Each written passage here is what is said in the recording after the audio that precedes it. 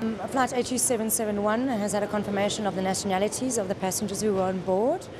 Uh, currently, we have um, 58 Dutch people, uh, six South Africans, two Libyans, two Australians, one German, one Zimbabwean citizen, one French, two British, and 19 unknown. The 11 crew members who were on board the aircraft were all Libyan citizens. Um, we're still waiting for confirmation on the 19 passengers.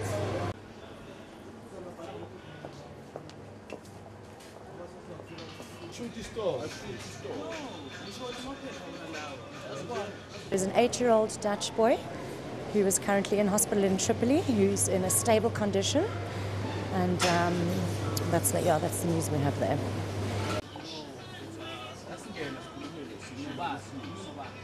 Feel that uh, I think people should continue flying. And we got the World Cup coming over here. Nobody should be hesitating to come over to South Africa, come and enjoy it, despite any flight that has crashed coming out of this airport. So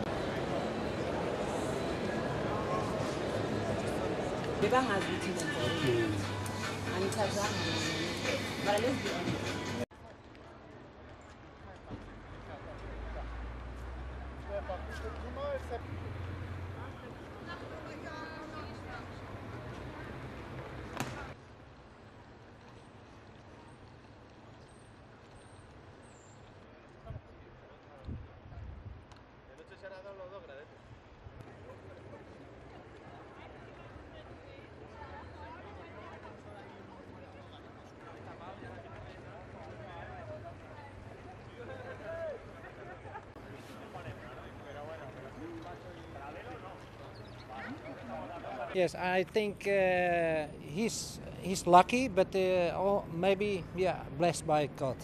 Ah.